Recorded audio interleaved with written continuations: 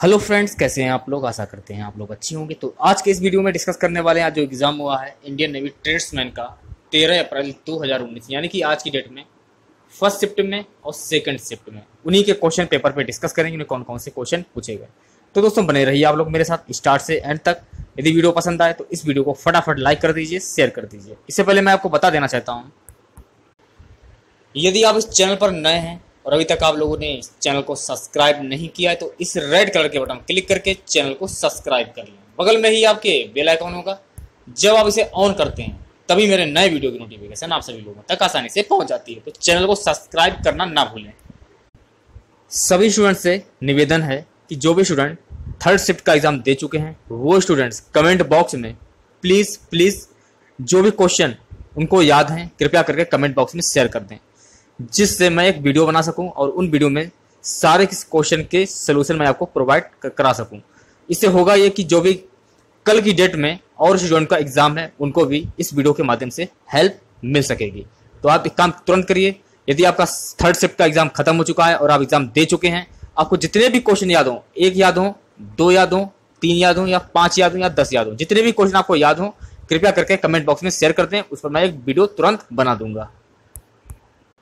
तो सबसे पहले हम लोग फ़र्स्ट शिफ्ट के क्वेश्चन देख लेते हैं। देखिए दोस्तों फ़र्स्ट शिफ्ट के कुछ ही क्वेश्चन मिले हैं और सेकंड शिफ्ट के भी थोड़े ही क्वेश्चन मिले हैं। जितने भी क्वेश्चन स्टूडेंट ने शेयर किए हैं वही क्वेश्चन मैं आपको बताने वाला हूँ इस वीडियो में। तो वीडियो को पूरा ज़रूर देखें वीडियो को फटाफट लाइक कर दीजिए आप लोग। तो देखिए, सबसे पहला क्वेश्चन आपका ये रीजनिंग का पूछा गया था कि एक तरफ़ राहुल ने एक लड़की की तरफ़ हाथ दिखाकर कह रहा है कि वह मेरी माँ की पति की लड़की है। तो वह मेरी क्या लगेगी? तो इस क्वेश्चन का आंसर आपको कमेंट बॉक्स में बताना है। देखिए दोस्तों, जितना भी मैंने आपको पढ़ाया है, उनमें से ये क्वेश्चन पूछे गए हैं। अगर आपने मेरे वीडियो देखे होंगे और अच्छे से आपने तैयारी की होगी तो आज का पेपर आपका अच्छा हुआ हुआ होगा, क्योंकि आज का जो पेपर का जो लेवल था, वो मोटेड था हार्ड नहीं था, काफ़ी सरल पेपर था। इसमें कुछ मैथ थोड़ी सी हार्ड थी मैथ ज़्यादा कुछ हार्ड नहीं थी थोड़ी सी हार्ड थी। बच्चे बता रहे थे जो पेपर देकर आए हैं। चलिए अगले क्वेश्चन क्या बढ़ते हैं। कि परमाणु की संख्या कितनी होती है, ये पूछा गया था। चलिए इसके बारे में जान लेते हैं। परमाणु क्रमांक क्या है? परिभाषा। किसी परमाणु के नाभिक में प्रोटॉन की संख्या की ही परमाणु क्रमांक कहते हैं। इसे जड़ से प्रदर्शित किया जाता है। किसी भी परमाणु को पहचानने के लिए परमाणु क्रमांक एक अद्वितीय पहचान प्रदान करता है। अर्थात परमाणु क्रमांक हर परमाणु का अलग अलग होता है, अतः इसके आधार पर हर परमाणु को पहचान मिलती है। परमाणु क्रमांक जेड और न्यूट्रॉन की संख्या के योग को उस परमाणु का परमाणु भार कहते हैं।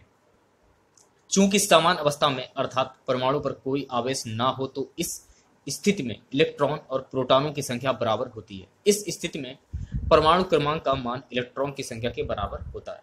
किसी भी परमाणु में प्रोटॉन की संख्या अलग अलग हो सकती है। जब एक ही प्रकार के परमाणु में अलग अलग न्यूट्रॉनों की संख्या पाई जाती है तो इन परमाणु को आइसोटोप कहते हैं। तो इन परमाणु को क्या कहते हैं? आइसोटोप कहते हैं। आपको पता होना ज़रूरी है। किसी भी परमाणु के लिए परमाणु भार की गणना निम्न प्रकार से कर सकते हैं। जैसे परमाणु भार बराबर प्रोटॉन प्लस न्यूट्रॉन। आइसोटोप परमाणु में परमाणु क्रमांक तो समान होता है, अर्थात उनमें प्रोटॉन की संख्या तो समान होती है, लेकिन न्यूट्रॉनों की संख्या अलग अलग होती है, इसलिए इन्हें आइसोटोप परमाणु कहते हैं। कोई भी रासायनिक तत्व जब आवर्त सारणी में रखा जाता है तो यह परमाणु क्रमांक के आधार पर ही रखा जाता है। आवर्त सारणी में तत्वों को उनके बढ़ते परमाणु क्रमांक के रूप में रखा जाता है। आवर्त नियम के अनुसार किसी परमाणु को आवर्त सारणी में रखने के लिए उस तत्व के भौतिक और रासायनिक गुणों को ध्यान में रखा जाता है। लेकिन सामान्यतः देखें तो आवर्त सारणी में तत्वों को उनके बढ़ते परमाणु क्रमांक के रूप में लिखते हैं। अब देखिए, परमाणु क्रमांक की परिभाषा किसी परमाणु के नाभिक में उपस्थित प्रोटॉनों की संख्या को ही परमाणु क्रमांक कहते हैं। मैंने पिछली बार साइंस के करीब पाँच मास्टर वीडियो अपलोड किए थे, उनमें से ही क्वेश्चन पूछे गए हैं साइंस के। अब देखिए, अगला क्वेश्चन था कि प्रोटॉनों की संख्या कितनी होती है? यह क्वेश्चन पूछा गया था, इसके बारे में भी जान लेते हैं। प्रोटॉन भी एक उप कण है, जिस पर धनात्मक आवेश उपस्थित होता है। प्रोटॉन को पी प्लस चिन्ह द्वारा दर्शाया जाता है। प्रोटॉन व न्यूट्रॉन नाभिक के अंतर अंतर पाया जाता है, जबकि इलेक्ट्रॉन नाभिक के चारों ओर चक्कर लगाता है या यादर्श गति करता रहता है। एक क्वेश्चन आपका काली मिट्टी से संबंधित क्वेश्चन पूछा गया था, जानेंगे इसके बाद। और अगला क्वेश्चन था कि इंडियन और म्यांमार की फुल फॉर्म पूछी गई थी। अगला क्वेश्चन था कि एरो इंडिया शो 2019 कहाँ पर हुआ था? तो एरो इंडिया शो 2019 बेंगलुरु में हुआ था। कमेंट बॉक्स में उड़ीसा भी काफ़ी लोग बच्चे बता रहे थे, लेकिन आंसर इसका बेंगलुरु होगा, उड़ीसा नहीं होगा। अब देखिए, अगला क्वेश्चन था कि भारत और म्यांमार के बीच असहयोग आंदोलन कब हुआ था? तो ये हुआ था 1920 में। इसके बारे में भी जान लेते हैं। 1914-18 के महान युद्ध के दौरान अंग्रेज़ों ने प्रेस पर प्रतिबंध लगा दिया था और बिना जाँच के कारावास की अनुमति दे दी थी। अब सर सिडनी रोलेट की अध्यक्षता वाली एक समिति की संस्तुतियों के आधार पर इन कठोर उपायों को जारी रखा गया। इसके जवाब में गांधी जी ने देश भर में रोलेट एक्ट के खिलाफ एक अभियान चलाया। उत्तरी और पश्चिमी भारत के कस्बों में चारों तरफ़ बंद के समर्थन में दुकानों और स्कूलों के बंद होने के कारण जीवन लगभग ठहरा सा रह गया। पंजाब में विशेष रूप से कड़ा विरोध हुआ, जहाँ के बहुत से लोगों ने युद्ध में अंग्रेज़ों के पक्ष में सेवा की थी और अब अपनी सेवा के बदले में इनाम की उपेक्षा कर रहे थे, लेकिन इसकी जगह उन्हें रोलेट एक्ट दिया गया। पंजाब जाते समय गांधी जी को कैद कर लिया गया, स्थानीय कांग्रेसी जनों को गिरफ़्तार कर लिया गया। प्रांत की यह स्थिति धीरे धीरे तनावपूर्ण हो गई। अप्रैल 2019 में अमृतसर में यह खून खराबे के चरमोक्रस पर ही पहुँच गई जब एक अंग्रेज़ ब्रिगेडियर ने एक राष्ट्रपति सभा पर गोली चलाने का हुक्म दिया, तब जालियावाला बाग हत्याकांड के नाम से जाने गए। इस हत्याकांड में लगभग एक हज़ार लोग मारे गए और 1600 से 1700 लोग घायल हुए। इसमें अगले क्वेश्चन की ओर बढ़ते हैं। खेलो इंडिया कहाँ पर संपन्न हुआ? तो खेलो इंडिया ये पुणे में संपन्न हुआ। चलिए इसके बारे में जान लेते हैं। महाराष्ट्र ने कुल सबसे अधिक पचासी गोल्ड, बासठ सिल्वर और 21 सॉरी इक्यासी ब्रॉन्ज मेडल जीते। तो देखिए, खेलो इंडिया में सबसे पहले नंबर पर कौन रहा? महाराष्ट्र रहा। आपको पता होना ज़रूरी है, ये इसका आयोजन कहाँ पर हुआ? पुणे में हुआ। अब आपको ये भी पता होना चाहिए कि दूसरे नंबर पर कौन रहा? खेलो इंडिया खेलों में तो दूसरे नंबर पर रहा हरियाणा। इसने कुल एक सौ अठहत्तर पदक जीते और इसके खाते में बासठ गोल्ड, छप्पन सिल्वर और साठ ब्रॉन्ज आए। तो पहले नंबर पर महाराष्ट्र और दूसरे नंबर पर हरियाणा और ये कहाँ पर आयोजित किया गया? पुणे में। तो इतनी जानकारी आपको मिल जाती है इस क्वेश्चन से। ये आपका रीजनिंग का क्वेश्चन था कि चार, अड़तालीस और पाँच यहाँ पर क्या आएगा यहाँ पर आएगा साठ। अगला क्वेश्चन था कि what is the other name of regular मिट्टी? तो रेगुलर मिट्टी को क्या कहा जाता है? रेगुलर मिट्टी को कहा जाता है काली मिट्टी। चलिए इसके बारे में जान लेते हैं। भारत की स्थानीय मिट्टी में से काली मिट्टी सबसे अलग दिखाई देती है। इसे रेगुर भी कहा जाता है। इसमें पोटास की बहुत ज़्यादा होती है, लेकिन प्राय इसे काली कपास मिट्टी कहते हैं। क्योंकि इसमें कपास की खेती ज़्यादा होती है, काली मिट्टी मुख्यतः महाराष्ट्र, कर्नाटक, गुजरात और मध्य प्रदेश में पाई जाती है और इस मिट्टी में कार्बनिक पदार्थों की अधिकता होती है। और अगला क्वेश्चन था कि इम्पैक्ट 2018-19 क्या है? ये पूछा गया था क्वेश्चन आपका। अगला क्वेश्चन था कि सत्याग्रह आंदोलन कौन से सन में हुआ? तो सत्याग्रह आंदोलन ये 1917 में हुआ था। इसके बारे में जान लेते हैं। गांधी जी के नेतृत्व में बिहार के चंपारण ज़िले में सन 1917 में एक सत्याग्रह हुआ। इसे चंपारण सत्याग्रह के नाम से जाना जाता है। गांधी जी के नेतृत्व में भारत में किया गया यह पहला सत्याग्रह था। अब देखिए, अगला क्वेश्चन था कि खेल यूथ महोत्सव 2019 ये कहाँ आयोजित किया गया? देखते हैं, इसके बाद जान लेते हैं। शिव छत्रपति स्पोर्ट्स कॉम्प्लेक्स में महाराष्ट्र के मुख्यमंत्री देवेंद्र फडणवीस और केंद्रीय खेल मंत्री राजवर्धन सिंह राठौर की मौजूदगी में खेलो इंडिया यूथ गेम्स का आधिकारिक तौर पर उद्घाटन हुआ था। तो ये इसका जो महोत्सव जो आयोजित किया गया, ये कहाँ पर हुआ? ये महाराष्ट्र में हुआ। ये भी आपको पता होना ज़रूरी है अगले क्वेश्चन की बढ़ते हैं। अगला क्वेश्चन था कि चांदी खुली हवा में रखने पर किस रंग की हो जाती है? इस क्वेश्चन का आंसर आपको कमेंट बॉक्स में बताना है। गणित की बात करें तो आज के पेपर में गणित के क्वेश्चन जो थे, वो काफ़ी हार्ड थे। और जो पेपर के लेवल की बात करते हैं तो पेपर का जो लेवल था, वो मॉडरेट था। एक क्वेश्चन था कि परमाणु संख्या क्या है? तो देखिए सेकंड शिफ्ट के क्वेश्चन यहाँ से स्टार्ट हो जाते हैं। सेकंड शिफ्ट का पहला क्वेश्चन था कि कि atomic number proton neutron number ये आपका क्वेश्चन पूछा गया था सेकंड शिफ्ट में। अब देखिए, अगला क्वेश्चन था कि पाकिस्तान के प्रधानमंत्री कौन है? ये पूछा गया था। तो पाकिस्तान के बारे में हम लोग विस्तार से जानेंगे। तो देखिए, पाकिस्तान के वर्तमान प्रधानमंत्री हैं इमरान खान। और पाकिस्तान के वर्तमान राष्ट्रपति हैं आरिफ अलवी।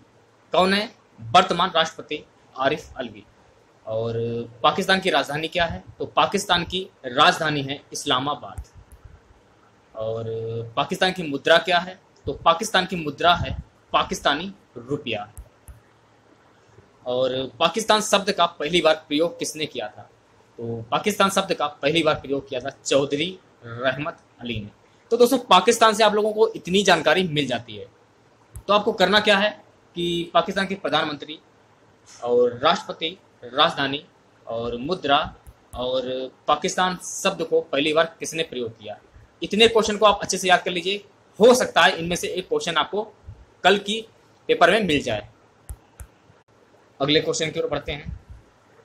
अब देखिए अगला क्वेश्चन था कि पा, पाकिस्तान भारत से कितने टाइम आगे पीछे है? तो पाकिस्तान भारत से 30 मिनट आगे पीछे है। यानी कि 30 मिनट का टाइम डिफरेंस है पाकिस्तान से भारत का। अब देखिए, अगला क्वेश्चन था कि सिंगापुर के प्रधानमंत्री कौन है? तो सिंगापुर के बारे में भी हम लोग विस्तार से जानेंगे। तो देखिए, सिंगापुर के वर्तमान प्रधानमंत्री हैं ली सियन लूंग। कौन है? याद कर लीजिए, सिंगापुर के प्रधानमंत्री हैं ली सियन लूंग। राष्ट्रपति कौन है? तो सिंगापुर के राष्ट्रपति हैं हलीमा याकूब। और सिंगापुर की राजधानी क्या है? तो सिंगापुर की राजधानी है सिंगापुर नगर। सिंगापुर की मुद्रा क्या है? तो सिंगापुर की मुद्रा है सिंगापुर डॉलर। तो सिंगापुर से आप लोगों को इतने क्वेश्चन मिल जाते हैं। पूछा ये क्या था कि सिंगापुर के प्रधानमंत्री कौन है? तो साथ में आपको इतने भी क्वेश्चन याद कर लें। हो सकता है कि कल के, कल की डेट में जिन बच्चों का पेपर हो, उनमें से क्वेश्चन आपको मिल जाए। तो प्रधानमंत्री, राष्ट्रपति, राजधानी और मुद्रा। अच्छे से याद कर लीजिए आप लोग। हो सकता है आपको क्वेश्चन में से मिल जाए।